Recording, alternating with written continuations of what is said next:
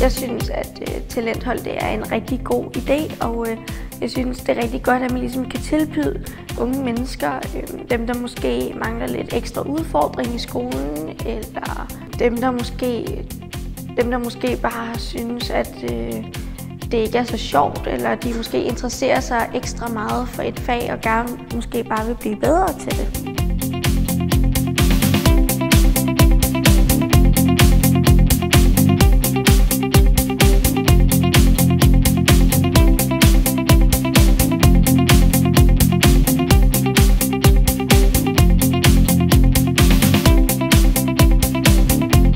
Jeg synes, det er en god idé, fordi det er ligesom at øh, hjælpe dig frem til at blive bedre til det og få nyde og møde andre, som kan, kan lide det på grund af, når du er sammen med nogen, der godt kan lide det samme som dig, så er det ligesom automatisk, så er du bundet sammen med dem, fordi så har I noget at dele, og så kan I snakke om det, og så har I det bare sjovt sammen.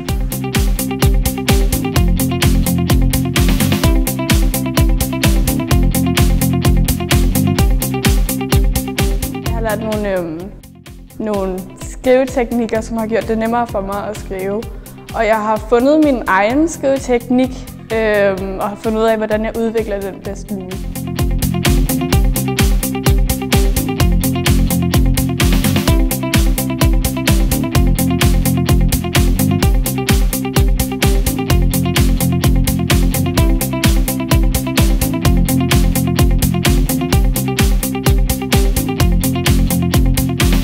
Har lavet musikproduktion, og vi har arbejdet med tre forskellige apps, øh, eller programmer. FL Studio, GarageBand og Logic Pro X.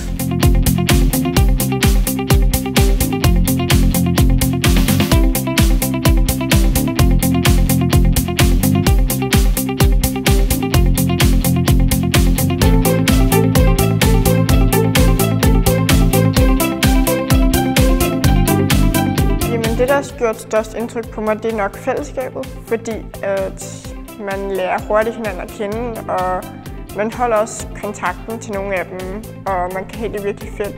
Og jeg blev lidt overrasket over, at det ikke bare vil være sådan en ekstra skole.